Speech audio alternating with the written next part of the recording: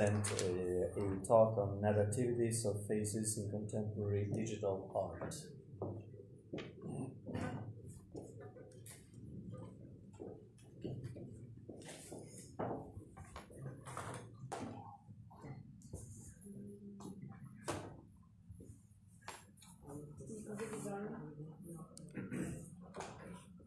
Oh, lights. It's okay. No, no, no problem. Yeah, I had the clock somewhere, Okay, but okay, it's uh, it's on the there, ground. Silvia looks there. Ah, yes, in the garage. Okay, sorry. Now, okay, thank you very much to Professor Massimo Leone and to Polish Institute of uh, Advanced Study to host uh, this symposium. Um, this article is dedicated to the memory of Isabel Cabanilles de la Torre, a young woman and mother, artist and activist. From the most traditional portrait to the most innovating uh, treatment of the face, contemporary art proposes a wide range of narrativities based on its aestheticization. Introducing few present-day artists whose proposal acutely touch this topic, we will consider how transhumanity crosses their work and how this reflection can contribute to an advanced study on visage used in phenomenological terms more than ontological ones. We will reflect then on the wonder kind of digitalization as a process that includes a sort of embodiment from both sides, machine and humans, leading to a proliferation of new science that deserve to be studied. But before starting, it's necessary to clarify this general question about the title. So, narrativities of faces in contemporary digital art. The synthetic and the semantic, uh, the syntactic and the semantic operation of choosing the term narrativities in the nominal and plural form is made by providing what follows, that portion of reality to which the noun refers, with a set of attribution typical of a multiplicity of narration. So it means that the faces in a specific context, that is digital art, are narrative instances, but to which one we will refer about uh, which kind of faces are we speaking about. The same we could ask about art as a process or product of creation, as the market of public or private institution involved, or it's about artists, which one? Or we are referring to an artistical charge of any images, photograph, drawing, or which are the indicator uh, of this artisticity. And what about the time in art? Of course, of course, these points awaken understandable and general doubts, and um, they underline the subjective character of human science. If is it true that in the simple syntax of the title is already expressed a chronotopical position that asserts an underlying axiology, it is also true that this truth is still denotating um, of a magnificent, magnificent waving of argumentative possibilities. The task of the researcher is therefore to reduce a piece of the word in a syntactic form, but then open it, it again in a continuous and uh, conscious mereological movement that allows to get into microscopic details without losing the cosmological context, and the other way around somehow is to defining which part of the world is considered systemic and which one is maybe temporarily considered extra systemic.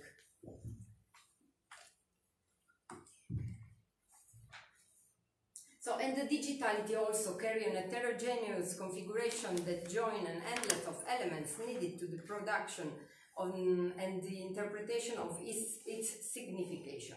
But to avoid the perdition, we can understand it imaging a semiotic situation, um, mentioning Fontanille, the, that implied the circumscription to an ensemble of homogeneous figures or texts disposed in the same support or vehicle, and then and that can be uni, bi, or three-dimensional.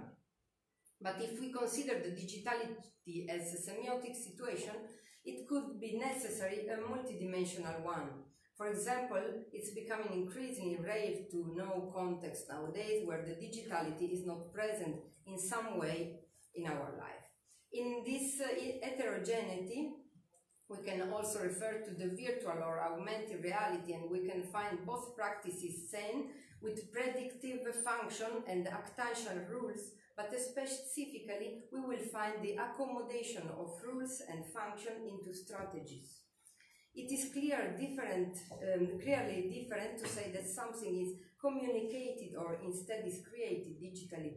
Both are impregnated with a strong semiotic profile. One is related to a specific rule and implies syntagmatic forms, while the other enter in a larger dimension, like a form of life. This option involves a valorization of strategies, including also places, routes and critical zone, and not only practices in Fontanille uh, terms. Let's start with a brief uh, into um, some artists that I'm showing here that use a digital narrative in terms of vehicle, a medium that allows them to speak about their art, evocating, transmitting, confirming, showing. Uh, we have some names, uh, Lin Lynette Yiadom-Boakye, the first one. Uh, for example, with the pieces Painting Infinitude is the, ser the serial of 2019. Um, she said um, that she paint possibilities of blackness, inventing people that seem real but is not. That's why she says that are not portraits, but they are endless opportunities. Or like uh, Hinke Schreuders, Hanna Bogigen, Vaginal Davis, Paolo Grassini, Avish Khebrehzadeh, Julio Milan, Ryoki Kurosaki, uh, Lim Cheol, Oscar Nim, among many others, uh, do. They use different techniques from the embroidery, the collage, or oil painting, drawing until the installation and, and the performances to represent figurative faces, but also to cover or veil them as underlined the extreme actual use about anonymity, indetermination and relativity. The easiest source of articulating the face in a kind of aesthetization of the transhumanity can be through the use of makeup, of masks, or through the implementation of any sculptural elements like uh, Judith Eger does in her piece uh, Dämmerung. Um, and there are also few examples of artists that covers their faces um, resorting to tattoo uh, as an aesthetic uh, and cultural tool like Ellie Link uh, does. We would also um, introduce this art I will show you for few. À régner.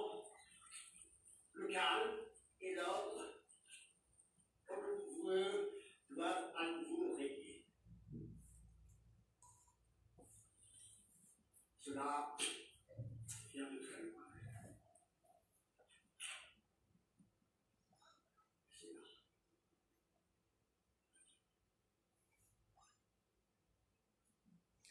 Olivier de Sagazan, with uh, its performances, represents among the most beautiful artistic acts of transhumanity expression through the use of the simplest matter as the clay is, and resulting in a high plasticity text. Eyes on eyes, mouth on the mouth. It would be worth dwelling in depth on each of them, but referring referring to something that they have in common besides being uh, living contemporary artists inspired by use of portrait or faces, is that all of them stay in the materiality. In other words, without the digitality support, their work would still exist. They are characterized by a sort of carnal presentiality. The type of narrativity used by them cover, of course, a big variety of materiality employed, uh, but there is not an embodied interpenetration between digitality and analogical world. The digitalization as a narrative process assumed here to be in a path of pertinence that was already tracked in that materiality. The materiality has been then recorded, creating a new archival body to present virtually wherever a technological device is there. In that cases, the digitality is a strategy of communication. If we would follow this line, we could keep on studying the content and the expression in a kind of syncretic, semiotic, quoting um, Omar Calabrese. But let's go further because the contemporary art is developed is developed a new multimedia panorama and um, mentioning Massimo Leone to read this new reality as a sign and the sign and this new of this new reality means to be able to predict what reality still is not but may be in the future. In this dynamic process, naturality and artificiality um, are outwards dichotomy of the same compendium of text and texture, acts and actant, multidimensional spaces, and the weird speed the connection of for studies and potential turn points. Some artists, through performances or video installation, uh, work with real or metaphorical alienation, but still maintaining human faces and bodies. Many of them project a premonition of how the world will be in a few, a few years or centuries.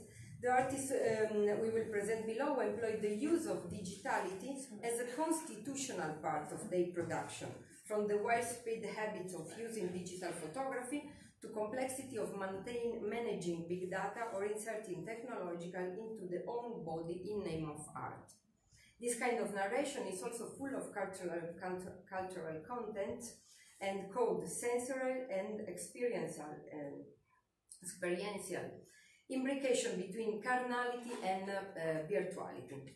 Narrativity is, among other definitions, a quality or condition of presenting a narrative that is characterized by the specificity of space-time and by the dynamism that, that to the extent to which a, te- a text transits. The digitalization as the transition from the continuity to the discreteness imply, imply, of course, a new phenomenal horizon, which in turn becomes, because it is already, full of intersubjective and dynamics meaning. Overcoming the exclusively analog step and focusing digital art, we will uh, we wish run across its life until our contemporary time the, all the specificities about the beginning of the telematic before beats, before our common use. Christiane Paul, in his book Digital Art, accomplished a quite complete panorama of that by introducing exciting example of artists and their works. We select very few artists uh, from his book, but from other contexts too, and we propose them in a representation of a hypothetical trail of increasing digital embodiment in other terms, we let's understand how the art as a secondary modalist system is incorporating increasingly the digitality, thus combining a semiosphere with new characteristics.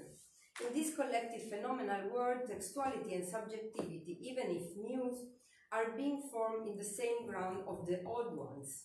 Uh, mentioning uh, Marsciani, uh, 2013, he said it is only one word phenomenon, which is the word as a systemic horizon that articulate their own subjectivity, conditions of possibilities.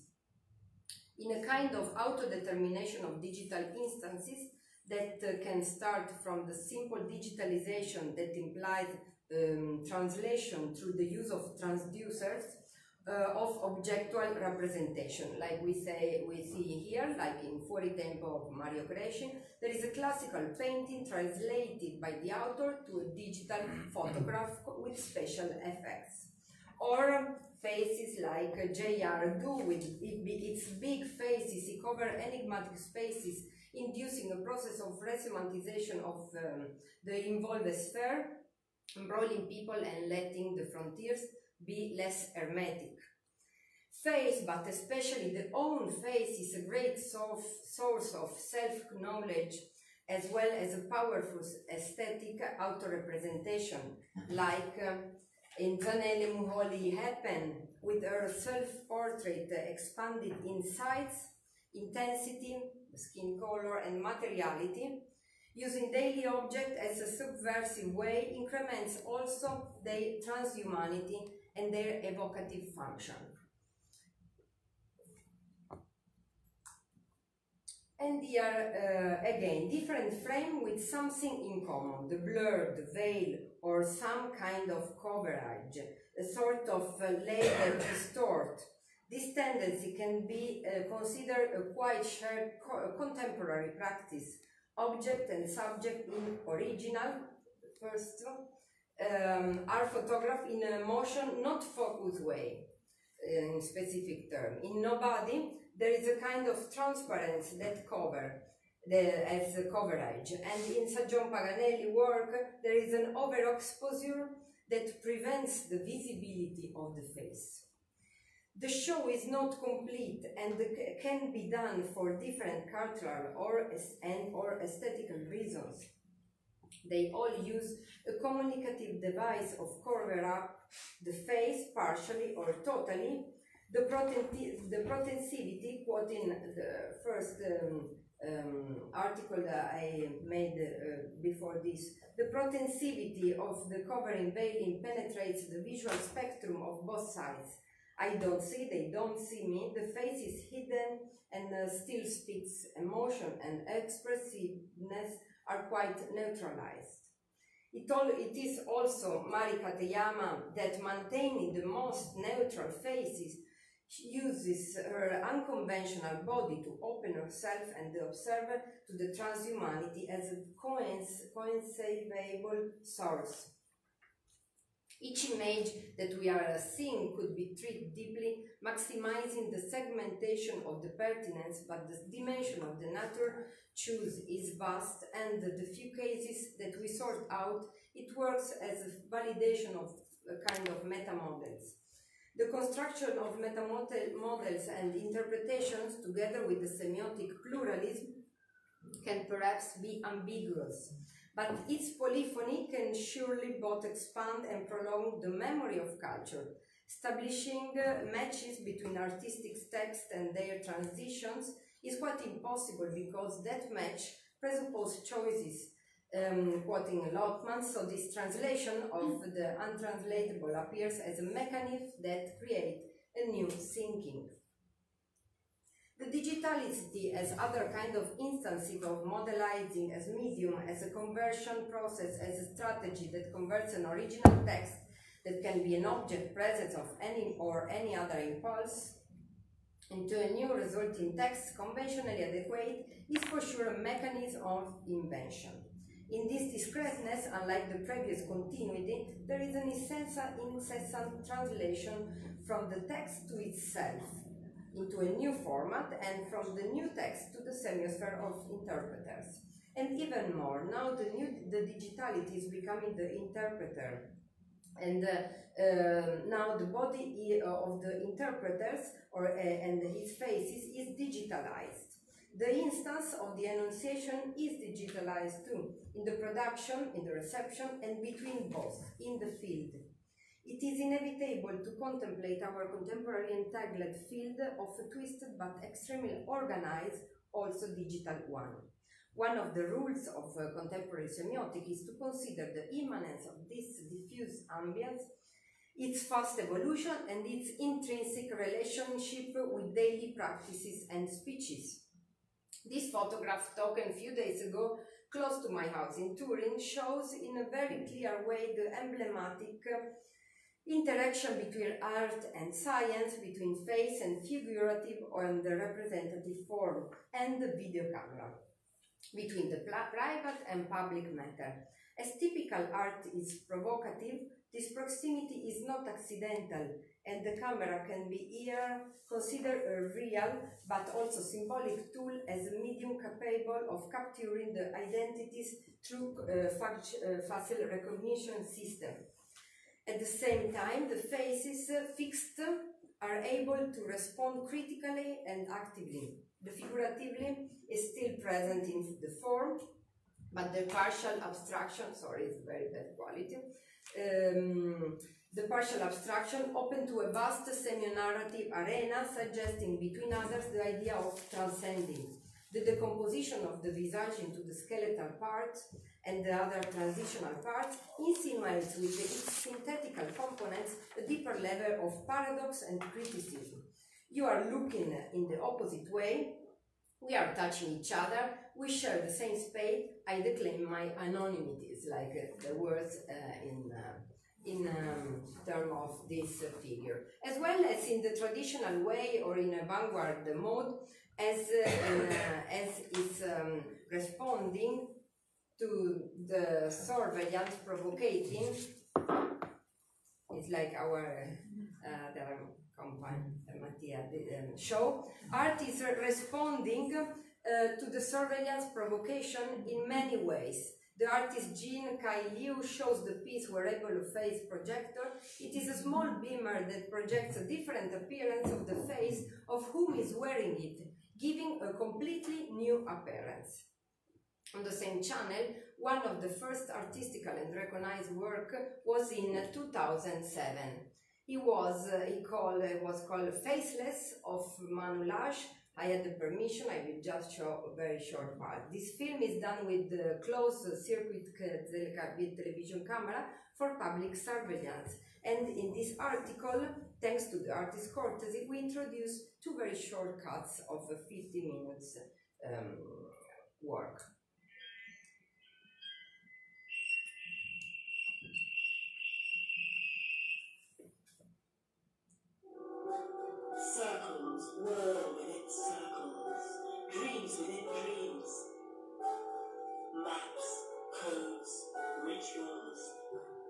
The dance sings of many things strange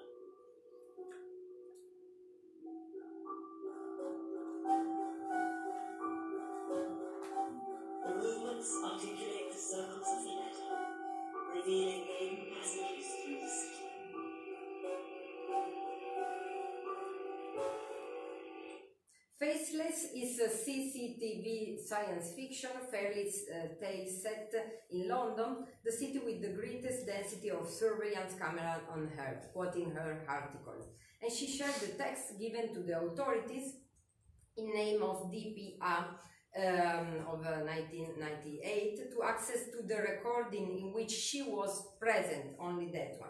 Extract from her ma uh, manifesto, Act 2 manifesto, for example, she say, I wish to apply under the Data Protection Act for any and all CCTV images of my person held within your system. I was present at that place from approximately that time to this time. She started the process in 2002. She had to be visible in a specific space-time to be able to ask the permission to get the recordings and she went through a big variety of answering of impediments after her request. For example, this is one. I can confirm that uh, there are no such records, images of yourself from the date our recording system was not working at that time. Nonetheless, she, she closed her, um, her movie successfully. The construction of the story, the significant uh, the portion, portion, the content of the research and the internal discussion is partially shown. The narrative as, as a text itself, the artistic statement and discourse with a specific format and structure is part of the significant portion. All the context and situations, uh, quoting to Gen uh, Gerard Genette, of producing narrative actions is present, its presentation, reproduction and reception are part of narrating process. The text as a whole as a narrative um, corporation need to be studied as an aesthetic composition with its uh, affection, time, dynamics, notes and poses, tension and attention. It is quite well defined that the use of computation in art phase can go from the most common use of the mo of modest devices, camera to testimony and register, or to the closest interaction of digital device and the human body until the interpretation of them and it can be from both sides. Digitalities is entering into, into the human body metaphorically or physically, and humanization and artistry are being introduced more and more into the machine as robot or android. I think I will go a little faster and just showing you uh, two more examples. Uh, the, the video and if there is no time, uh, I, will, I will just conclude. This is a specific part of, okay. Sophia. Specific part of So can I ask you what your favorite is to draw? Are you drawing something right now? So they were the asking her, Have you been working on one? It might be one of the small box papers. Hopefully it's still right here in the studio. Who have you been drawing? Jeff, Jeff. Is that So now she is showing a portrait of Jess, Jeff, but the first part it was, uh, which is your most uh, dreams in your life? And she said, I want to be an artist. So um, then analyze the, mod- the modalization divided into three parts uh, with the Omar Calabrese uh, distinction. The visualizing modality make possible the beginning of an action through the will or must, and Sophia, she, she had, had these wishes to be an artist, um, to actualizing the modalities, uh, so to acquire knowledge and power, um, and to achieving the achieving modality, uh, so to be able to act.